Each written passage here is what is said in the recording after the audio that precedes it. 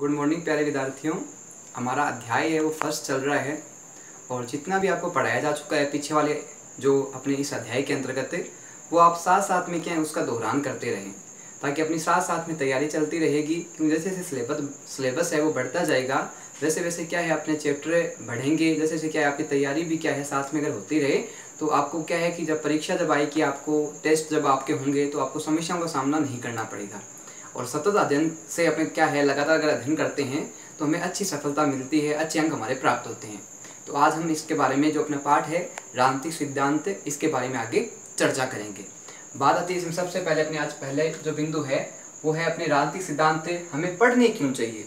जो राजनीतिक सिद्धांत है, इसकी जानकारी हमें क्यों होनी चाहिए, क्यों हम इन सिद्धांतों को पढ़ते हैं, क्यों इनका हम अध्ययन करते हैं, हमारे किस प्रकार से ये सहयोग करते हैं इनकी जानकारी हमारे लिए क्यों आवश्यक है? इनकी जानकारी के अभाव में हमारी क्या स्थिति होती है?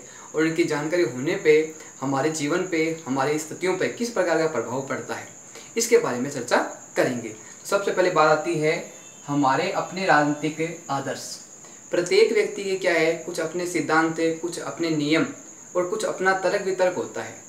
तो जैसे समानता है, स्वतंत्रता है, न्याय है। तो इसके संबंध में क्या है कि सभी व्यक्तियों की धारणा एक जैसी नहीं होती।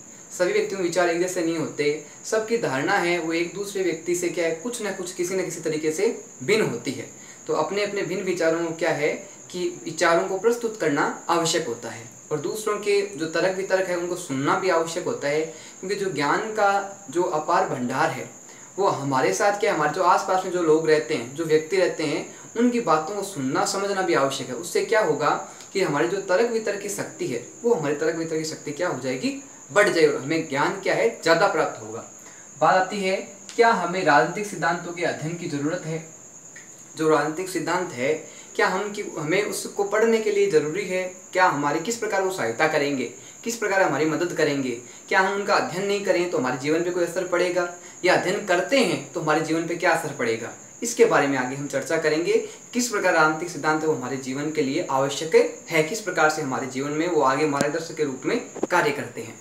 बात आती है कि राजनीतिक सिद्धांत क्या है? और ये राजनीतिक सिद्धांत किन लोगों से जुड़े हुए हैं प्रमुख रूप से? और किस प्रकार से इनका इस्तेमाल है? अलग अलग क्षेत्र में अलग अलग व्यक्ति करते हैं। किस प्रकार से क्या है कि अपने क्षेत्र में स्वतंत्र रूप से कार्य करते हुए अपने ज्ञान के द्वारा दूसरों को क्या है कि बेनिफिट पहुंचाते हैं, लोगों को इनकी जानकारी देते हैं? तो बात आती है राजनेताओं की, नौकरशाहों की, यानी कर्मचारियों, सरकारियों की, अध्यापकों की, वकीलों की, पत्रकारों के लिए। क्या राजनीतिक जो सिद्धांत है, क्या इन वकीलों के लिए, अध्यापकों के लिए, या समाज के जो अन्य लोग हैं, उनके लिए आवश्यक है? या साथ में क्या है जो नौकरशाह है, जो अन्य अपने वकील है, क्या इन्हीं के लिए सिर्फ़ जो राजनीतिक सिद्धांत वो बने हुए हैं? जैसे अध्यापक है, वो राजनीतिक सिद्धांत क्यों पढ़ता है? बच्चों को शिक्षा देने के लिए। वकील है, वो न्याय से संबंधित चीज़ों को, अनुच्छेदों को क्यों पढ़ता है? न्याय करने के लिए। समाचार पत्र वाले जो संपादक है, या जो लेखक है, वो इन बात, विभिन्न बातों, विभिन्न घटनाओं के बारे में जानकारी क्यों रखते हैं? क्या वो समाचार पत्र का कार्य करते हैं? इसलिए इसी प्रकार राजनेता है। क्या वो राजनीति करने के लिए राजनीति से जुड़े हुए हैं? तो इस प्रकार क्या है कि प्रत्येक क्षेत्र के अलग अलग व्यक्ति हमारे सामने आए। प्रत्येक व्यक्ति है, वो विभिन्न क्षेत्रों से जुड़ा हुआ है और विभिन्न मुद्दों पे, विभिन्न विषयों पे जानकारी प्रमुख रूप से रखता है। क्योंकि जितनी जानकारी वो रखेगा, उतनी अधिक वो जानकारी दे पाएगा। जितना उसको ज्ञान होगा, उतने उसके अधिकारों की सुरक्षा होगी। बात आती है आगे आज़ादी या समानता का अर्थ है जानने से क्या होगा। आज़ादी का मतलब होता है स्वतंत्रता से। समानता का मतलब होता है किसी प्रकार के, से किसी भी साथ भेदभाव नहीं करना। क्या हम इन दोनों का अर्थ जान लेंगे? तो इन अर्थ जानने से क्या होगा? क्या हमें इससे लाभ होगा? क्या इससे हानि होगी? तो हमारे जीवन से जो आज़ादी है, वो समानता जुड़ी हुई है और हमें इसका ज्ञान होना पर्याप्त आवश्यक है। बात आती है सभी के लिए राजनीतिक सिद्धांत आवश्यक। चाहे वो छोटा बच्चा हो चाहे वो बड़ा बच्चा हो, चाहे महिला हो, चाहे पुरुष हो, किसी भी जाति धर्म का हो, सभी के लिए जो राजनीतिक सिद्धांत है, समानता, स्वतंत्रता, न्याय, धर्मनिरपेक्षता, इन सभी सिद्धांतों का ज्ञान है, परस्पर होना आवश्यक है। क्योंकि इनके ज्ञान के अभाव में क्या है कि उसके आसपास जो हो रहा है कार्य, उसका उसे ज्ञान नहीं रहेगा। आसपास में जो घटनाएँ घटित हो रही है, उसकी जानकारी जितनी व्यक्ति को होगी ना, उतने उसमें ज्ञान का क्या भंडार अधिक होगा। और उससे क्या होगा कि उसका जो जीवन है आगे वो क्या है कि आर्थिक रूप से, सामाजिक रूप से, सांस्कृतिक रूप से मज़बूत बनेगा और एक अच्छा व्यक्तित्व तो समाज में सामने, निखर के सामने आएगा। बात आती है छात्रों के लिए भविष्य की आवश्यकता, जो ये राजनीतिक सिद्धांत है कि बच्चे के लिए भविष्य में किस प्रकार मार्गदर्शन करते हैं, किस प्रकार उसका जीवन है, वो राजनीतिक सिद्धांत से जुड़ा हुआ है। क्योंकि जितनी जानकारी इस व्यक्ति को, बच्चों को इनकी जानकारी होगी, उतना ही क्या है, उसका उज्जवल भविष्य होगा विभिन्न क्षेत्रों में। तो बात करते हैं हमें विभिन्न व्यवसाय या कार्य। जब व्यक्ति को, जब बच्चों को इन सिद्धांतों का ज्ञान हो जाता है तो इसके ज्ञान से व्यक्ति का जीवन है, वो विभिन्न प्रकार से नए रूप लेता है, नए आयाम लेता है। तो उससे क्या होता है कि वो राजनेता नौकरशाह अध्यापक, वकील, जज, पत्रकार, कार्यकर्ता, जिस क्षेत्र पे जिस व्यक्ति की, जिस बच्चे की जितनी अधिक पकड़ होगी, वो क्या उसी क्षेत्र में जाएगा? और उसी क्षेत्र में जाने के कारण क्या है कि उस क्षेत्र से संबंधित उसे जानकारी होना आवश्यक है। क्योंकि जानकारी के अभाव में क्या है कि वो अपने क्षेत्र में विशेष रूप से पकड़ मज़बूत नहीं कर पाएगा। और जितनी उसको जानकारी होगी उस क्षेत्र के बारे में, उतना ही क्या होगा कि वो हर छोटी से छोटी, बारीक से बारीक चीज़ों को समझ पाएगा और समझने के कारण क्या है, उस चीज़ का समाज से संबंधित जो कार्य है, वो करवा पाएगा आराम से। बात आती है, हम सभी विषय क्यों पढ़ते हैं? एक बच्चा है, वो कक्षा में क्या सिर्फ़ एक ही विषय पढ़ता है या अनेक विषय पढ़ता है? तो हम सामान्य देखने को मिलता है कि एक बच्चा क्या है कि वो जो विषय पढ़ाए जा रहे हैं उसको, चाहे वो चार विषय हो, चाहे पाँच विषय हो, चाहे छह विषय हो, वो सभी विषयों को पढ़ता है। क्या सभी विषय पढ़ने उसके लिए आवश्यक है? तो उस विषय पढ़ रहा है, क्या उसे कुछ विषय नहीं पढ़ने चाहिए? क्या उसे सभी विषय पढ़ने चाहिए या कि एक ही विषय पढ़ना चाहिए? तो उसके लिए जो विषय होते हैं, वो सभी पढ़ने आवश्यक है। कारण क्या? कि उसको हर विषय का सामान्य ज्ञान होना आवश्यक है। सामान्य ज्ञान का मतलब हो गया, हर क्षेत्र के बारे में उसे जो सामान्य बातें हैं, सामान्य जानकारी हैं, उसको होनी आवश्यक है। चाहे वो उसके भविष्य में क्या है, कि उसके लिए उसके लाभ मिले या नहीं मिले, लेकिन ज्ञान होना पर्याप्त उसके लिए आवश्यक माना गया है। बात आती है सभी अध्यापक, इंजीनियर, गणितज्ञ नहीं बनेंगे। जो पढ़ने वाले बच्चे हैं पढ़ने वाले विद्यार्थी हैं क्या वो जब छह सब्जेक्टों का अध्ययन करते हैं राजनीति का भी करते हैं सामाजिक का भी करते हैं विज्ञान का भी करते हैं गणित का भी करते हैं हिंदी का भी करते हैं संस्कृत का भी करते हैं अंग्रेज़ी का भी करते हैं तो क्या सभी बच्चे हैं वो क्या अलग अलग क्षेत्र में हाँ, सभी क्षेत्रों को एक साथ कार्य कर पाएँगे? वो करेंगे तो एक क्षेत्र में लेकिन अध्ययन क्या कर रहे हैं वो सब का कर रहे हैं क्योंकि वर्तमान समय की आवश्यकता ये है कि प्रत्येक व्यक्ति को प्रत्येक बच्चे को हर क्षेत्र में ज्ञान होना आवश्यक है। तो बात आती है अध्यापक इंजीनियर और गणितज्ञ यानी एक बच्चा है, वो सभी विषयों को पढ़ने के बावजूद भी क्या है एक ही क्षेत्र में अपने कार्य कर पाएगा? चाहे वो अध्यापक के रूप में हो, चाहे वो इंजीनियर के रूप में हो, चाहे वो डॉक्टर के रूप में हो, चाहे वो वकील के रूप में हो, चाहे वो किसी भी क्षेत्र में हो, चाहे एग्रीकल्चर कल्चर में हो, किसी भी क्षेत्र में हो, वो एक क्षेत्र में कार्य करता है। लेकिन जानकारी उसको विभिन्न क्षेत्रों की होती है। कारण क्या? कि प्रारंभ से उसको हर सब्जेक्ट का ज्ञान दिया जाता है। हर विषय की उसको जानकारी मिलती है। और वो जानकारी क्या है कि आगामी भविष्य में जो वो कार्य करता है, उसमें सहयोग निभाती है। बात आती है बुनियादी ज्ञान सभी के लिए उपयोगी। बुनियादी ज्ञान, यानी जो सामान्य ज्ञान है, आवश्यक ज्ञान है, वो सभी के लिए आवश्यक है। क्योंकि उनके अभाव में क्या है कि व्यक्ति को जो उसके अधिकार मिले हुए हैं, जो कर्तव्य हैं, समाज की जो आसपास की जो घटनाएँ हैं, कार्यक्रम हैं, उनके बारे में जानकारी नहीं होगी। इसलिए क्या है कि जो सामान्य ज्ञान है प्रत्येक क्षेत्र का चाहे वो स्वास्थ्य का हो, चाहे वो शिक्षा का हो, चाहे वो चिकित्सा का हो, चाहे वो इमारतों का हो, चाहे वो अपने सांस्कृतिक संबंधी हो, चाहे धार्मिक संबंधी हो, चाहे राजनीतिक संबंधी हो, किसी प्रकार का हो, व्यक्ति को हर क्षेत्र में पर्याप्त ज्ञान होना आवश्यक बताया गया है। बात आती है, सभी को मत देने का अधिकार। देश में रहने वाले प्रत्येक व्यक्ति को क्या है कि अपना अमूल्य वट, जो वोट है, उसका देने का अधिकार होता है। अब ये अमूल्य वोट कौन दे पाएगा? वह व्यक्ति दे पाएगा जो वहशक हो गया है। वयस्क होने के बाद वो अपने मतदान का उपयोग कर सकता है। और मतदान का उपयोग किस आधार पर करता है? बहुत सारी पार्टियों के उम्मीदवार खड़े होते हैं, लेकिन वोट किसको देता है?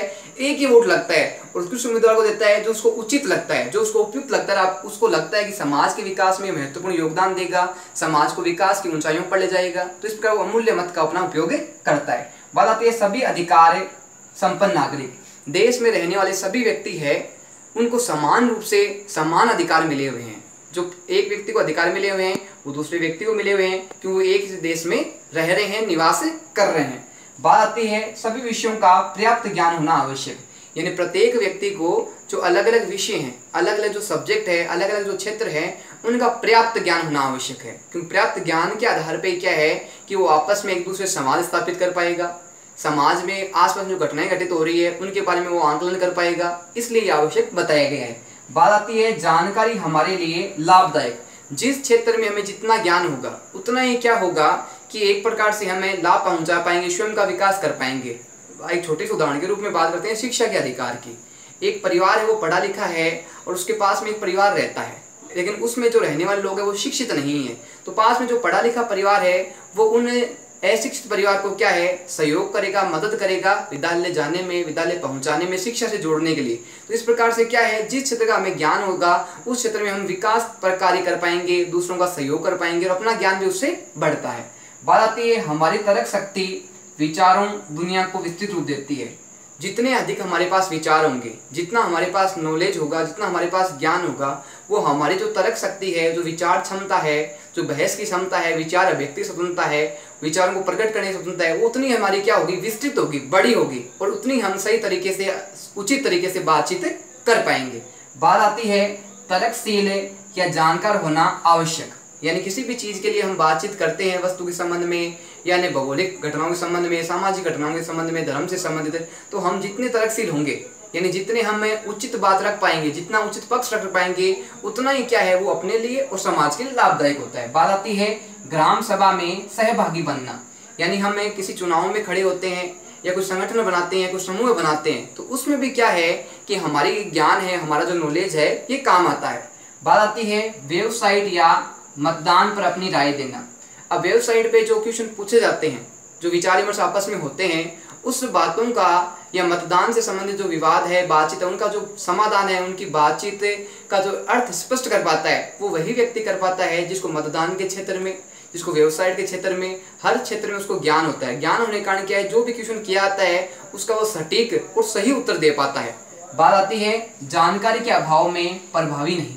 यानी किसी व्यक्ति को, मान लो कि स्वास्थ्य संबंधित क्वेश्चन पूछे गए, लेकिन स्वास्थ्य के बारे में उसको जानकारी नहीं है स्वास्थ्य उसको परिभाषा ही मालूम नहीं है तो उसके जो विचार होंगे वो प्रभावी नहीं होंगे। प्रभावी का मतलब हो गया कि किसी दूसरे व्यक्ति पे, दूसरे क्षेत्र पे उस बातों का कोई प्रभाव नहीं पड़ेगा। और जो उसने बात कही है, उसका कोई महत्व नहीं निकलेगा। उसका जो व्यक्तित्व है, वो एकदम कमज़ोर दिखाई देगा, निम्न दिखाई देगा। बात आती है, विचारशील व परिपक्व होना आवश्यक। विचारशील, यानी एक व्यक्ति को जो विषय है उसके सामने जो समस्या उपस्थित है, जो वो देखता है, सोचता है, उसके बारे में विचार करना, स्मरण करना उसके लिए आवश्यक, क्योंकि परिपक्व होना आवश्यक है। परिपक्व यानी किसी विचारों के बारे में, किसी चीज़ की जानकारी के बारे में, वो जो विचार प्रस्तुत कर रहा है, जो बात कर रहा है, उसके बारे में उसको सही जानकारी, सही नॉलेज होना आवश्यक है। क्योंकि जानकारी के अभाव में नॉलेज के अभाव में क्या है कि जो उसकी बात है, वो वास्तविक नहीं मानी जाएगी और अवास्तविक मानी जाएगी जिस कारण उसकी बातों में कोई महत्व नहीं रहेगा। अब इसके हम आगे के बिंदुओं की बात करते हैं। आगे जो महत्वपूर्ण बिंदु है, जो व्यक्ति के विशेष से उसकी जानकारी से संबंधित होते हैं, उसे विचार शक्ति से संबंधित होते हैं, उसे तर्क शक्ति से संबंधित होते हैं। बात करते हैं नागरिकों के रूप में किसी कार्यक्रम के श्रोता होना। यानी जब कहीं पे कोई कार्यक्रम चल रहा होता है और व्यक्ति उस कार्यक्रम को सुनने वाला होता है, उसका श्रोता होता है तो उसके ऊपर जो कार्यक्रम जो चल रहा है उसके जो विचार है, उसका इफ़ेक्ट पड़ता है। तो एक श्रोता के रूप में भी क्या है, व्यक्ति को एक अच्छा श्रोता होना, एक अच्छा श्रवण कार्य होना बहुत आवश्यक है। बात आती है, गीत व लय की व्याख्या करने वाले कलाकार नहीं। यानी कलाकार है जो गीत का गायन कर रहा है। उसके जो सुर ताल होते हैं तो उसकी जो सुर की ताल की जो उसकी गहराइयाँ हैं, जो उसके अनुभव है, वो जो प्रस्तुत करता है तो उसकी जो कमियाँ हैं या उसमें जो त्रुटियाँ हैं या उसकी जो अच्छाइयाँ हैं वो क्या है? कौन प्रकट करते हैं? जो सुनने वाले हैं। और जो सुनने वाले व्यक्ति होते हैं, वो उसके बारे में सही तरीके से आंकलन करते हैं कि उसके द्वारा जो सुर ताल प्रस्तुत किया गया, वो किस प्रकार का है, उनको कैसा लगा? तो इसकी जानकारी कलाकार को नहीं रह के जो श्रोता है, सुनने वाले हैं, उनको अधिक रहती है। बात आती है, प्रस्तुति के आधार पर नए अनुरोध। हम जब किसी गीत को सुनते हैं, किसी के विचारों को सुनते हैं तो हम तय करते हैं कि बाद में हमें किस प्रकार गीत की आवश्यकता है। किस प्रकार के संबोधन की आवश्यकता है, किस प्रकार का भाषण है, हम सुनना चाहते हैं, किस प्रकार की कविताएँ सुनने चाहते हैं, किस प्रकार के विचार सुनना चाहते हैं, ये जो सुनता है, श्रोता है, उसकी इच्छा पर निर्भर करता है। बात आती है, संगीतकार को श्रोताओं का जानकर होना आवश्यक है और महत्व है। यानी जो संगीतकार है, जो गीत का गायन करता है, वो जो गायन कर रहा है, जो अपनी अभिव्यक्ति दे रहा है तो उसको सबसे पहले समझने की बात यह है कि जो जनता है, जो श्रोता है, वो सुनना क्या चाहते हैं। क्या वो उम्मीद करते हैं उससे? किस प्रकार के सुर ताल की आवश्यकता है? किस प्रकार के वो जो आप गायन कर रहे हो, किस प्रकार के गायन की वो मांग कर रहे हैं? तो एक व्यक्ति को सामने वाले जो चाहते हैं, सामने वाले पे हमसे क्या उम्मीद रखते हैं? किस प्रकार की आकांक्षाएँ हैं? उनको जानना भी क्या एक संगीतकार के लिए, एक व्यक्ति के लिए आवश्यक बताया गया है। बताती है, शिक्षित व जागरूक भी राजनीति का जानकार। यानी राजनीति का जानकार व्यक्ति क्या होगा? जो व्यक्ति शिक्षित होगा। जो पढ़ा लिखा होगा। साथ में राजनीति से जुड़ी हुई छोटी से छोटी, बड़ी से बड़ी घटनाओं का जानकार होना आवश्यक है। क्योंकि राजनीति में कार्य करने के लिए और अपने अस्तित्व को बनाए रखने के लिए उसे हर मुद्दों के बारे में जानकारी होना आवश्यक है। कौन से क्षेत्र में कौन से कार्य होने हैं, इसकी जानकारी आवश्यक है। किस प्रकार के क्षेत्र में किस प्रकार की कमियाँ हैं कौन कौन से जो कमी है, उनको दूर करना है कौन कौन से जो अच्छे कार्य हैं, उनको और अधिक प्रयास करना है तो उसके बारे में एक राजनीतिक को जानकारी होना आवश्यक है। इस प्रकार से कलाकार है, उसी प्रकार एक राजनीतिक विचारक है, राजनीतिक कार्य करने वाला राजनेता है, उसको भी इस चीज़ के बारे में जानकारी होना आवश्यक है कि क्षेत्र विशेष में क्या मांग है, क्या आवश्यकताओं की प्रमुख रूप से गुजारिश की गई है या आवश्यकता मांगी गई है। बात आती है आज़ादी समानता धर्मनिरपेक्षता जीवन में महत्वपूर्ण। यानी प्रत्येक व्यक्ति के जीवन में क्या है? आज़ादी। यानी वो स्वतंत्र रहना चाहता है। समानता, यानी किसी प्रकार से उसके साथ भेदभाव नहीं हो बात है धर्म के आधार पर व्यक्ति के साथ किसी धर्म को छोटा या बड़ा नहीं समझा जाए, सभी धर्म को समान समझा जाए, इस पर भी क्या है कि व्यक्ति के जीवन में महत्वपूर्ण ये योगदान रहता है। बताती है परिवार, विद्यालय, व्यवसाय केंद्रों में भेदभाव का सामना। परिवार में, विद्यालय में, व्यवसायिक केंद्रों में हमने देखा है कि व्यक्तियों को असमानता का सामना करना पड़ता है। बात करते हैं परिवार में। परिवार में जो असमानता होती है, प्रमुख रूप से लिंग के आधार पर होती है, पुरुष यानी महिला के आधार पर उनके कार्यों के आधार पर उनके बोलचाल के आधार पर उनके पहनावे के आधार पर उनके जो संस्कृतियों के आधार पे तो ये भेदभाव प्रमुख रूप से देखने को मिलते हैं। बात आती है विद्यालय की। विद्यालय में क्या है कि जो अच्छे विद्यार्थी होते हैं उनको क्या अवसर अधिक मिलते हैं? जबकि जो कमज़ोर विद्यार्थी हैं या पिछड़े विद्यार्थी हैं, उनको अवसर नहीं मिलते। तो इस प्रकार के विद्यालय में भी क्या है? कई बार समानताएँ या समानता देखने को मिलती है भारतीय व्यवसाय केंद्रों की। व्यवसाय केंद्र में प्रमुख रूप से क्या होता है कि जो बोस है या मेन जो अधिकारी है, उसकी जो चाक्रूस चाकरी करता है उसकी, उसके हाँ में हाँ मिलाता है, उसको तो क्या अधिक महत्व तो मिलता है, अधिक उसके अच्छे समय पदोन्नति हो जाती है। जबकि वो उसकी हाँ में हाँ नहीं मिलाता या उसकी क्या चापलूसी नहीं करता तो क्या है कि ऐसा व्यवसाय केंद्रों में भी क्या है कि भेदभाव देखने को मिलता है। बात आती है, हम स्वयं भी लोगों के प्रति असमानता। हम स्वयं भी क्या करते हैं, जो हमारे बराबर के हैं, हमारे धर्म के हैं, उनको तो हम समान समझते हैं, लेकिन जो हमारे धर्म के नहीं हैं, जो हमसे क्या है कि निम्न श्रेणी की है, वो हम उनके साथ क्या करते हैं? भेदभाव करते हैं। तो हमें क्या है, उस भेदभाव को नहीं करना, हमें सबको अपने समान समझना है और हम सब जब अपने आप को एक जैसा समझेंगे तो भेदभाव है, वो धरातल में पूर्णतः क्या खत्म हो जाएगा? पूर्णतः समाप्त हो जाएगा। बात आती है पीड़ित होने पर पीड़ा का निवारण। जब हम पीड़ित होते हैं, यानी सब जब हम किसी समस्या का खुद अनुभव करते हैं जब हम किसी समस्या से स्वयं गुजरते हैं तो हमें किसी उस पीड़ा का अनुभव होता है। जो पीड़ा दूसरों के ऊपर बीतती है, गुजरती है तो स्वयं अनुभव करने के बाद में क्या है कि हमें उस वास्तविकता का पता चलता है, ताकि हम उस वास्तविकता को बाद में दूर कर सके उस प्रकार के जो भेदभाव किए जा रहे हैं, हम स्वयं भी नहीं करें और कहीं हो रहे हैं, उनको भेदभाव को होने भी नहीं दें। बात आती है धर्म, जाति, लिंग के आधार पर भेदभाव। समाज में जो भेदभाव होते हैं वो प्रमुख रूप से उनके कौन से आधार है? कौन से मूल तत्व है? तो प्रमुख रूप से धर्म के आधार पर भेदभाव होता है, जाति के आधार पे होता है, भाषा के आधार पे होता है, वर्ण के आधार पे होता है, लिंग के आधार पे होता है। तो ये भेदभाव समाज में प्रमुख रूप से पाए जाते हैं। बात आती है, समाधान न होने पर हिंसक क्रांति उचित। कई बार क्या होता है कि हमारी जो समस्या है, उसका जब उचित समय पर निर्धारण नहीं हो पाता, समाधान नहीं हो पाता तो हम क्या करते हैं कि अनुचित तरीकों को अपना लेते हैं। हिंसा का रूप ग्रहण कर लेते हैं, उत्तेजित हो जाते हैं, आक्रोशित हो जाते हैं। तो कई बार हमारा जब समाधान नहीं हो पाता तो ये समस्याएँ उत्पन्न हो जाती है। हम क्या हैं कि एक प्रकार से हमें विशेष अधिकार मिले हुए हैं। विशेष अधिकार का मतलब हो गया कि सब प्रकार की सुविधाओं से, सब प्रकार की आवश्यकताओं से हम संपन्न हैं। तो हमारा भी ये कर्तव्य बनता है कि हम किसी के साथ भेदभाव नहीं करें। जैसे हम अपने साथ व्यवहार चाहते हैं, वैसे दूसरों के साथ करें। जब हमारे साथ असमानता होती है, भेदभाव होता है तो हमें कैसा अनुभव होता है, कैसा लगता है? तो उसी प्रकार हमें क्या है कि दूसरों के साथ वैसा व्यवहार नहीं करना चाहिए। बात आती है नौकरों व नौकरानियों के साथ उत्पीड़न नहीं। हमारे घर में जो नौकर है, नौकरानियाँ हैं, वो काम करते हैं तो हमें क्या है उनको निम्न नहीं समझना चाहिए। वो भी क्या है, हमारे तरह मनुष्य है, मनुष्य होने कारण क्या है कि उनको भी सम्मान की आवश्यकता होती है। उनको भी क्या है कि अन्य कार्यों की आवश्यकता होती है, उनको रिस्पेक्ट की आवश्यकता होती है तो हमें क्या है कि उनको शोषण नहीं करना चाहिए, उनसे अत्यधिक कार्य नहीं करवाना चाहिए और अपने समान ही उनको समान समझते हुए उनको सम्मान हित देने चाहिए, समान सुविधाएँ प्राप्त उनको करवानी चाहिए। बात आती है सम्मान के हकदार सभी। इस समाज में रहने वाला प्रत्येक व्यक्ति है, चाहे वो किसी भी स्थान पर रहे, कोई भी कार्य करे, चाहे छोटा कार्य करे, चाहे बड़ा कार्य करे, उसकी योग्यता के आधार पर जो कार्य वो करता है, वो उसकी आवश्यकता है, और उसकी आजीविका का साधन है तो उसके आधार पर उसके साथ किसी प्रकार का भेदभाव नहीं करें उसको समान समझें। बात आती है कार्य के आधार पर भेदभाव नहीं। यानी कोई व्यक्ति है, वो सफ़ाई का कार्य कर रहा है, कोई सिलाई का कार्य कर रहा है, कोई मोची का कार्य कर रहा है तो कोई इंजीनियरिंग कार्य कर रहा है, कोई अध्यापक का कार्य कर रहा है, कोई न्याय का कार्य कर रहा है, सबके अपने अपने कार्य हैं, सबकी अपनी अपनी योग्यताएँ हैं, सबके अपने अपने क्षेत्र है, लेकिन सभी कर क्या रहे हैं, कार्य कर रहे हैं। तो कार्य के आधार पर किसी की भी व्यक्ति के साथ किसी प्रकार की क्या है समानता भेदभाव नहीं होनी चाहिए। बात आती है राजनीतिक सिद्धांत विचारों और भावनाओं के लिए प्रोत्साहित। तो राजनीतिक सिद्धांत है, जो विचार है, ये सभी व्यक्तियों को प्रोत्साहित करते हैं। कि प्रत्येक क्षेत्र की उनके पास जानकारी हो। जानकारी होने के कारण क्या अपनी बातों बातों को है, प्रस्तुत कर पाएँगे। एक दूसरे की मन की भावनाओं को जानने का प्रयास करेंगे और अपने मन में जो भी बात है, जो भी भावनाएँ हैं जो भी विचार है, उनको दूसरे में साझा कर पाएँगे। जिस कारण क्या है कि समाज में समस्याएँ जो व्याप्त है, समाज में जो आक्रोश की स्थिति बनी हुई है, अशांति की स्थिति बनी हुई है, उन सबका समाधान हो पाएगा। बात आती है छात्रों द्वारा भाषण प्रतियोगिता में भाग लेना। भाषण का मतलब एक प्रकार से विचार अभिव्यक्ति की स्वतंत्रता। भाषण प्रतियोगिता विद्यालय में क्यों रखी जाती है कि बच्चों की जो बोलने की जो क्षमता है, बोलने की जो गति है, बोलने का जो तरीका है, उसको उजागर किया जा सके। उसमें बोलने की क्षमता को नए जो गुण है, विकसित किए जा सके। जिस कारण क्या विद्यालय में जो वाद विवाद प्रतियोगिता होती है, भाषण प्रतियोगिता होती है, वो रखी जाती है।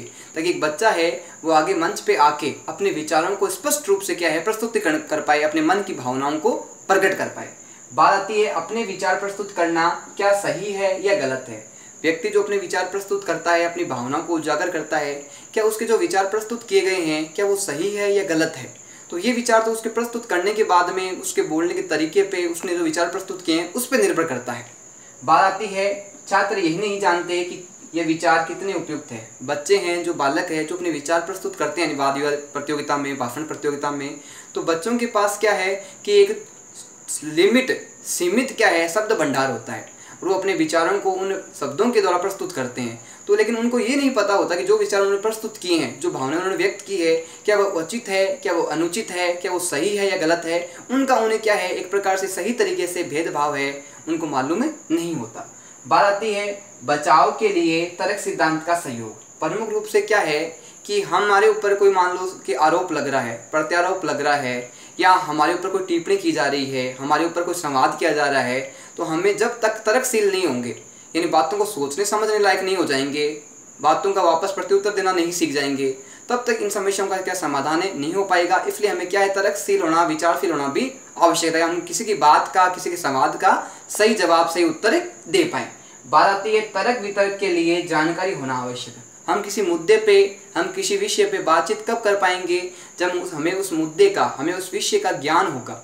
ज्ञान के अभाव में क्या है कि हम तर्क वितर्क नहीं कर पाएँगे? क्योंकि जितने हमारे पास जानकारी होगी जानकारी के आधार पर हम किसी के साथ वाद विवाद कर पाते हैं किसी के साथ तर्क वितर्क कर सकते हैं। तो इसलिए हमें क्या है कि हर क्षेत्र के बारे में जानकारी होनी आवश्यक है हर विषय के बारे में जानकारी होनी आवश्यक है चाहे वो धर्म से संबंधित हो चाहे समाज से संबंधित हो चाहे वो हमारे जो पाठ्य पुस्तक विषय हैं उनसे संबंधित हो। हमें हर क्षेत्र में क्या है, जानकारी होना आवश्यक है और ये जानकारी क्या है कि भविष्य में जो हमारी संभावना बनेगी, हम भविष्य में जो कार्य करेंगे, जिस क्षेत्र में जाएँगे, उसमें हमारी मदद करे। चाहे हम अध्यापक बनो, चाहे हम डॉक्टर बनो, चाहे हम इंजीनियर बनो, चाहे हम ग्राम सभा के सदस्य बनो, चाहे हम कुछ भी बनो उसमें जो हमारा ज्ञान है, हमारा जो विषय का अध्ययन है, वो हमारे जीवन में आगामी काम आएगा और हमारे जीवन स्तर को सुधारने में, हमारे आर्थिक स्थिति को सुधारने में, हमारे देश के स्तर को सुधारने में, उस विषय की, उस जानकारी की, उन सिद्धांतों की हमारे जीवन में बहुत महत्वपूर्ण योगदान रहेगा। इस प्रकार के राजनीतिक सिद्धांत है, वो प्रत्येक व्यक्ति के जीवन में महत्वपूर्ण होते हैं और सभी के जीवन में इनका महत्वपूर्ण योगदान रहता है विकास में और उनके उज्जवल भविष्य के लिए। राजनीतिक सिद्धांत है, वो बहुत ही उपयोगी और लाभदायक सिद्ध होते हैं।